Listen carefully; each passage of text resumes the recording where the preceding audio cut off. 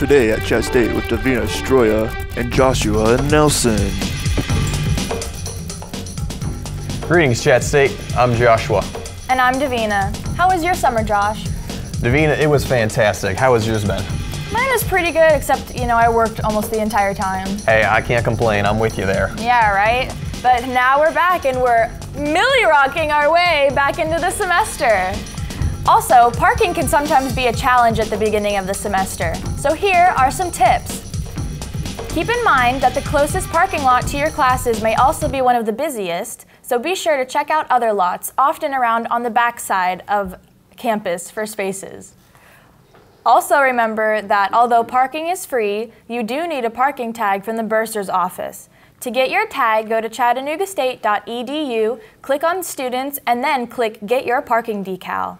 Speaking of the bursar's office, all tuition and fees must be paid by 1 p.m. on Sunday, September 8th. You can visit the bursar's office in the Student Center or on the campus website. Click the Financial tab for more instructions. Protesters turned violent in Hong Kong this week. Demonstrators threw bricks and traffic cones at the police.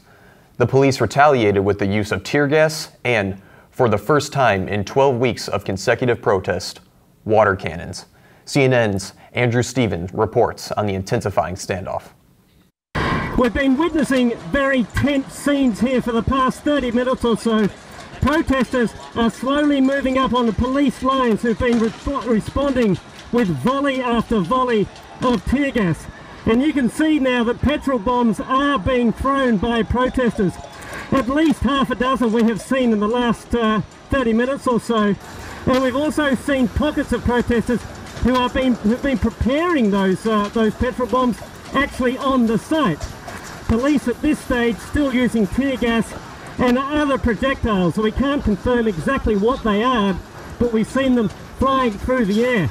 We have uh, perhaps a, a, a several hundred protesters at the front line here, but behind them there are several thousand more. There's a rhythmic beating on whatever they can find to get the message across, to keep the spirits, if you like, of the people here on this front line up. But at the moment the police are just using tear gas and some sort of projectile. Behind that first line of police we have seen hundreds of others. They've moved out of sight at the moment, but uh, they are, it looks at this stage at least, preparing to make a much bigger move.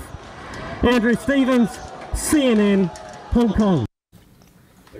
And Davina, you just hate to see it. You know, they're just trying to rebuild a democracy after years and years of communism. It's just sad to see all this violence. It is very sad, especially when you have to experience that through other people's eyes and you have to realize that they don't share the same freedoms that we have here in the United States. No, they don't. And you know, 300 years of us building a democracy and we're still not perfect. So hopefully one day we'll get to the perfect democracy.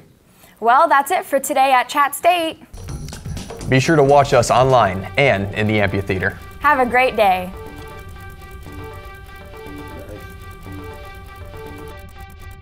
Scene one, scene one.